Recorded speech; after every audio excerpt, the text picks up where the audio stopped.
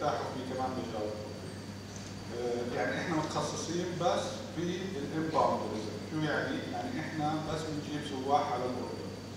يعني ما بنطلع رحلات ولا بنعمل ticketing بس فقط آه، بنشتغل بالسياحة الوافده هلا الشيء اللي بضحك إنه أي حدا بيجي بيسألني بقول لي شو بتشتغل؟ بقول له بشتغل بالسياحة. بروح بقول له قديش حق تذكرة عمان لندن؟ عمان؟ بقول له ما بعرف. بقول لي ليه كيف بتشتغل بالسياحة أنت وما بتعرف حق تذكرة عمان لندن؟ عمان؟ له لا إحنا بنجيب سواح للاردن فبتعرفوا شو الجواب الغريب؟ بقول لي في هو في حدا مجنون بيجي على الاردن؟ يعني شغلة غريبة. فأنا بحب أقول لكم إياها إنه السياحة شغلة كثير كثير حلوة. هلا أنا كيف اشتغلت فيها؟ كانت صدفه الحقيقة. أنا كنت في الجامعة. في عندي قريب عنده مكتب سياحة برضه بيشتغل بجيب سواح فاجى قال لي بفترة ال- يعني عندي وقت فراغ في الجامعة. قال لي شو رأيك تيجي تشتغل part time قلت له okay بحب يعني خليني أشوف. ف والله انبسطت يعني حبيت الشغله وأهم شيء هلأ مين فيكم يعني اللي بحب يسافر يرفع إيده أشوف مين فيكم بحب يسافر؟ بالضبط. هذا الشيء اللي خلاني أنا أشتغل في السياحه لأنه أنا كثير بحب السفر وبحب ال يعني أشوف الناس جديد وأتعرف على بلدان جديدة وهذا اللي خلاني أشتغل في هذا المجال. هلا كل ما تعرفوا إنه هذا المجال مجال واسع ومش بس فقط في مكاتب السياحة. طبعا ممكن تشتغلوا في المناطق ممكن تشتغلوا في المطاعم ممكن تشتغلوا في الرجلكار. في كثير مجالات للسياحة ناس ما بتعرفها. هدول طبعا حكيت لكم إياهم هدول المجالات التقليدية لسه في كثير مجالات في السياحة ما حدا بيعرفها.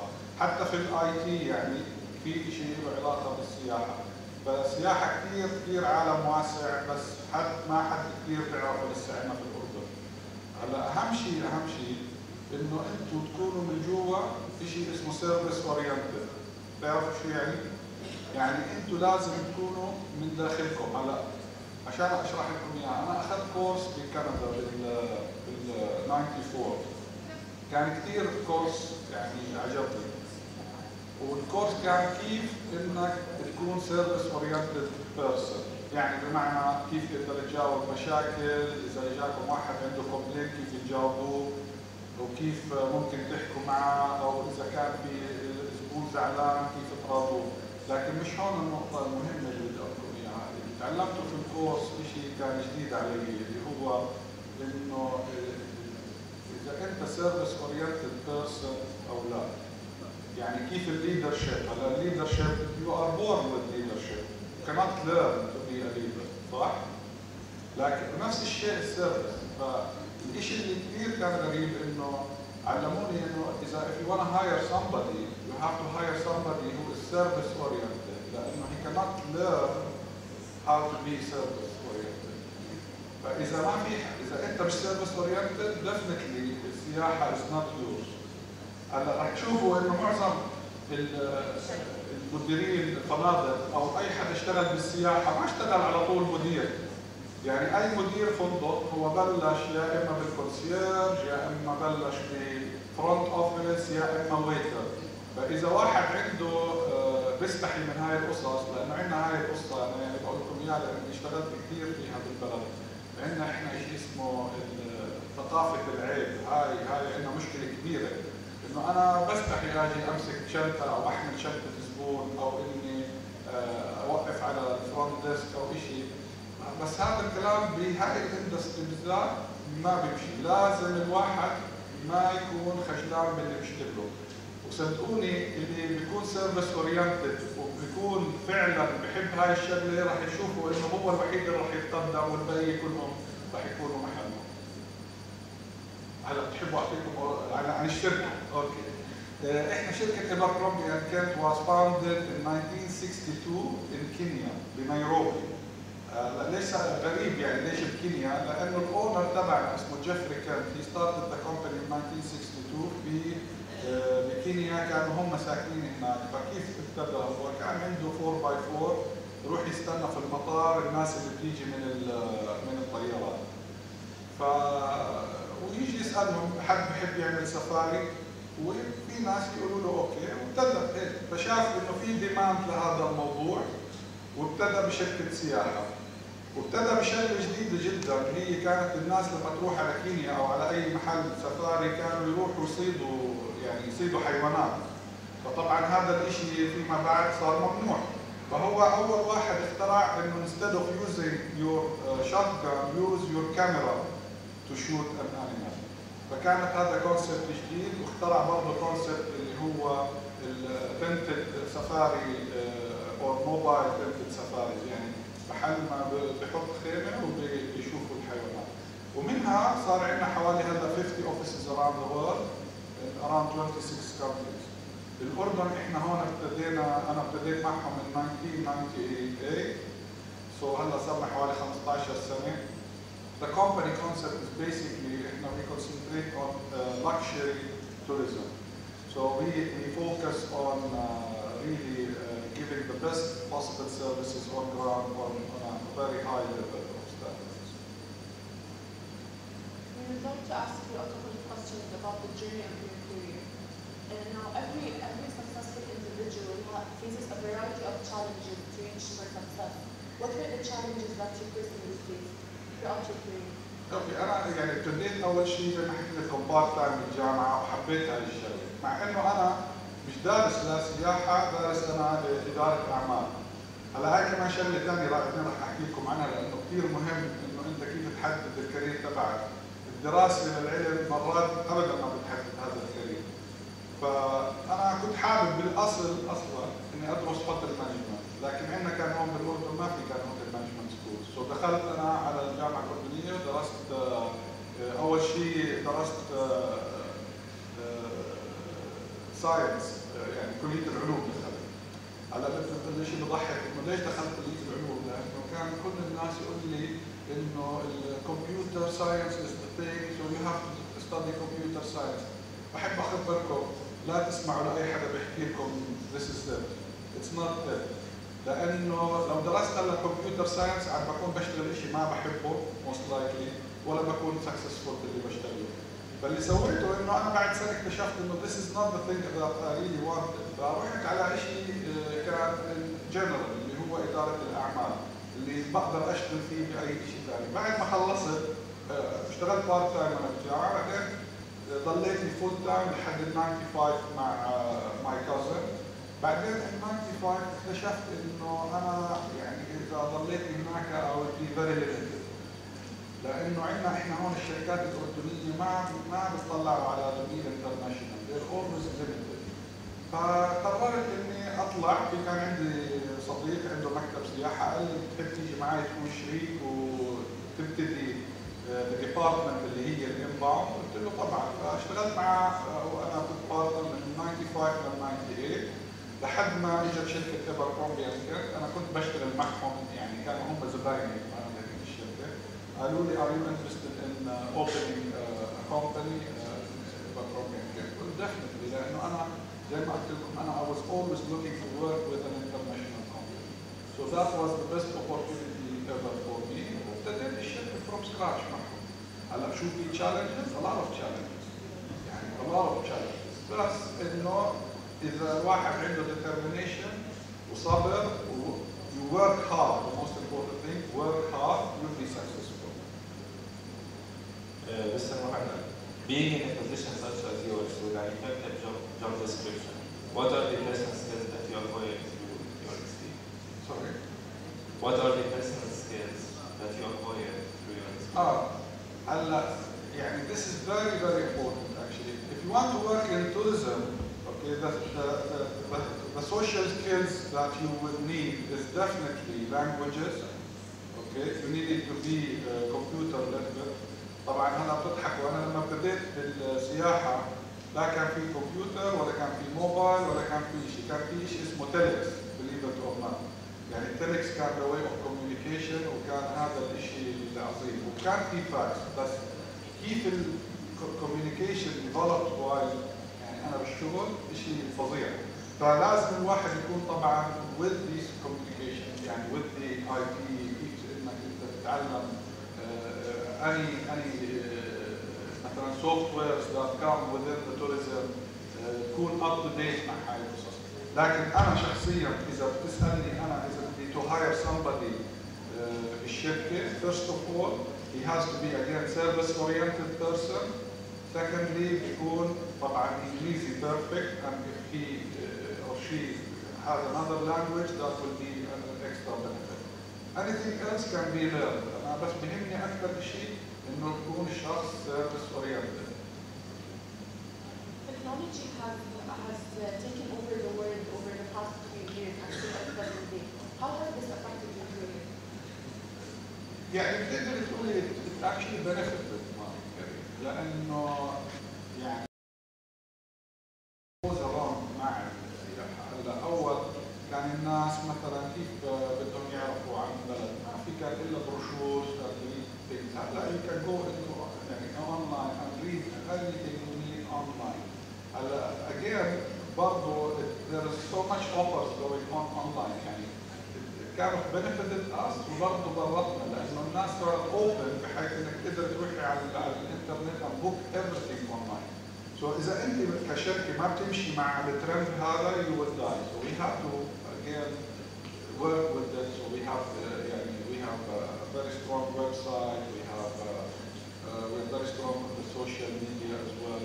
And we, we try to keep up مع ال uh, IT as well.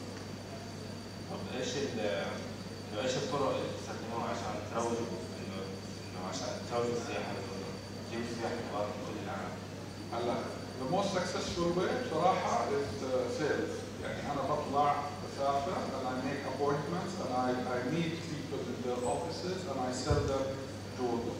هلا طبعا of course there is other ways we can do email shots, we can do newsletters, uh, في معارض متخصصة للسياحة that you attend and, and, and uh, promote Jordan as well. So there are so many ways of doing it. But the most successful way is actually going there and doing the sales yourself or bringing them into Jordan. Uh, so yeah, bring the tour operators or the travel agents to Jordan so they can see the country. آه، هلا الربيع العربي اثر على السياحه آه أكيد طبعا. هلا إحنا مشكلتنا بالأردن إنه إحنا in a very bad neighborhood يعني كل اللي حوالينا في عندهم مشاكل. فالناس in general when they think of Jordan they think of the Middle East. فالناس عندهم ترند إنه ال Middle East شيء بخوف. فأثر علينا كثير طبعا لأنه الناس كانت صارت تخاف تيجي على الأردن although ما عندناش شيء إحنا we don't have anything going on on ground بس آه، شوي شوي يعني الناس تعودت هلا بلشت ترجع بس it did, did affect us tremendously يعني. What strategies did you use to, to إنه إنه تفرجيهم إنه هذا الشيء ما رح يأثر إنه ما رح يأثر عليهم إذا إجوا tourists على What strategy did you use? كثير كثير صعب يعني. إنه مثلا لاني أنا ام لوكال جوزين لما أجي احكي للناس انه السيف يفضل جوزر ما راح يصدقوني لأنه ام لوكال فالطريقة إنه لازم انت تقنعيهم بأكشلي بالتستمونيز يعني مثلا في جاني ناس من برا وانبسطوا. بسألهم إنه بليز كان يو رايت testimonial saying that you had a good time and Jordan is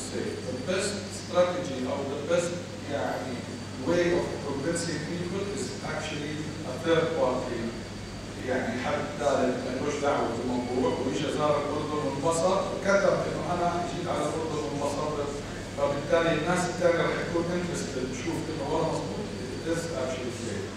ف يعني that was the best way of, of doing it. Okay. Uh, according to your experience, what advice do you give the mission community or students here uh, regarding career path? Sure, but the, the service, uh, service industry, as I said, is it's a very large industry, and there's so much work in it. يعني أجيب لكم بس مثال. هلا ال- ال- السيرفيس industry hires around 40 to 45,000 uh, persons directly, and there is around 80 to 80 to 90,000 persons who are indirectly برضه آه، يعني يشتغلوا بالسياحة بس indirectly كيف يعني؟ يعني مثلا الناس اللي بيشتغلوا مع الاوتيلات اللي الاكل اللي هذا إحنا بنسميه indirect بس اللي بيشتغل direct بالسياحه حوالي 40 ل 45 ألف شخص. زي ما أنتم شايفين هلا عدد الأوتيلات اللي عم يفتح في البلد يعني أنا اللي بعرفه بس هلا في حوالي 20 5 stars hotel coming in the next 5 years. Imagine. هلا إذا قلنا average هي كل اوتيل بده between 300 to 500 persons. يعني عم نحكي in the next 20 uh, in the next 5 years they will need at least 20,000 jobs تخيلوا فمن وين بدهم يجيبوهم؟ So المشكلة اللي عندنا احنا we don't have really qualified people in this industry. So what we end up is we hire a lot of people from uh, outside. لو في أردنية who are qualified, I, I, I bet you كل الحد اللي بيشتغلوا في السيرفيس industry hire shortly. okay؟ بس كمان مرة ما في حدا بيشتغل مدير من أولها. يعني بدكم تبتدوا step by step. واللي بيحب الشغله هاي أنا I know a lot of my friends they, are, they have great careers and they have they are GMs in big international chains وابتدوا كلهم يا اما front office يا بال sales يا بال concierge فبحكي لكم اياه there is an opportunities in this industry think of it seriously okay وأنا باكد لكم يعني the social skills are much more much much much more important than what you study. So أنا شغله مثلا ندمان عليها وأنا صغير إني I used to waste a lot of time لما كنت في المدرسة في الجامعة. ما رحت درست ما درست لغة ثانية يعني أنا بحكي إنجليزي اي وش أرجع هلأ صغير أخذ فرنسي أخذ إسباني. يعني عندي كان وقت كثير هلا ما عندي وقت للاسف بس لو إني كنت صغير أنا بشجعكم ستادي لانجوجز لانجوجز از ذا فيوتشر بليز ديفاين سكسس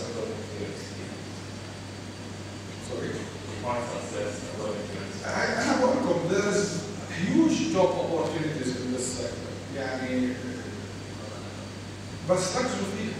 يعني ما ما ما تستحوا. أي شغل بالسياحة مش عيب إنك تفتح باب السيارة تحكي شغله الزبون هذا مو عيب انك a restaurant or to be a waiter مش عيب أوكي you need to uh, enhance your skills.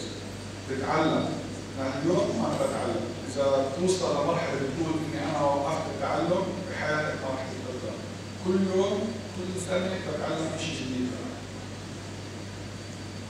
سيد مهند قبل ما نبدا بالكويشنز اند انسر سيشن باسم مدرستنا نينا ومحمود وانا بنحب نشكرك على وجودك معنا آه، sharing your experience and promoting tourism in Jordan وبنحب اذا بتقدر تحكي له لطلابنا آه، كلمه عنكم كيف as young citizens بيقدروا uh, to present Jordan abroad especially uh, that many of them now are studying in gen- international uh, colleges and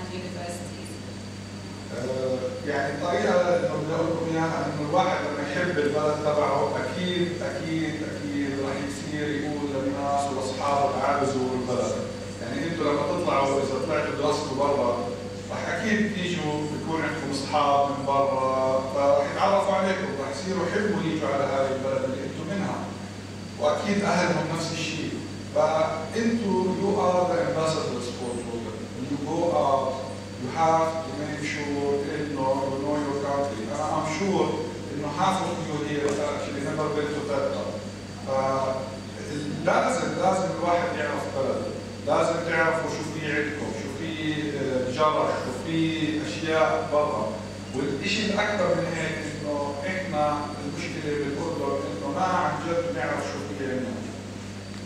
ولما نروح يعني للأسف أنا ما عم بحكي يعني هون جنرال انه الناس مثلا بتروح على جرح أو على بطل اول ما يروح هناك يروح يمسك الحجر ويكتب اسمه على الحجر. هاي يعني جريمه أنا بعتبرها. ف you have to respect your history, respect the culture اللي عندكم اياها. Be proud of it and promote it. And believe me, people when they come to Jordan, they love it. They love the history, they love the people, they love the friendliness